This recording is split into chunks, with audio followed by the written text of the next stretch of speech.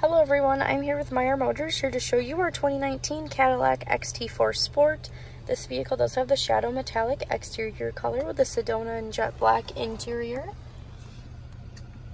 This vehicle also does have the 2.0 liter turbo. We do have your garage opener buttons and your sunroof buttons right there. This is what the sunroof looks like. If we take a look over here, you do have Apple CarPlay and Android Auto do have navigation.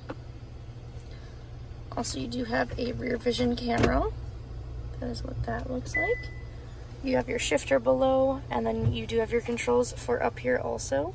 You do have different drive modes, auto stop start, and traction control. The drive modes you have is Tour, all-wheel drive, and Sport. Over here you do have heated and cooled front seats, front and rear park assist, lane keep assist, and then you do have your hazards. And then you do have all of your controls for the heat and AC right there also. You do have your volume controls and your audio controls. Also, you do have heated steering wheel, forward collision alert, and your cruise control buttons. This vehicle does have driver memory seats and mirrors. That's going to be right here on the side of the door. Also, it does have power folding side mirrors also. If we take a look on the outside,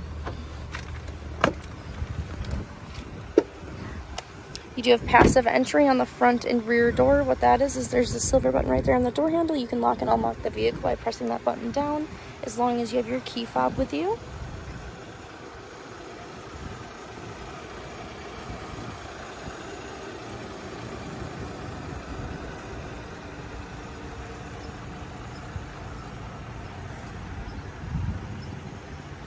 We take a look in the back,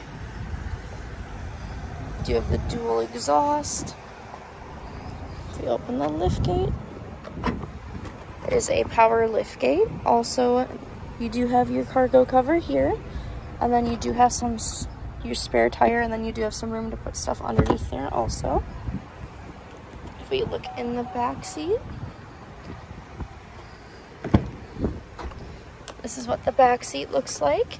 You can fold the seats down. Also, you do have your cup holders, heated second row seats, two USB ports. That is all I have on this Cadillac XT4. If you have any other questions, please just give us a call or visit our website at gomeyermotors.com. Thanks for watching.